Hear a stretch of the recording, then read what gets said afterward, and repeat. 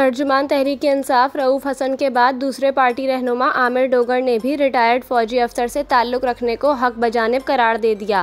आमिर डोगर ने यह भी एतराफ़ कर लिया कि फैज़ हमीद का पीटीआई हुकूमत में एक बड़ा किरदार रहा है।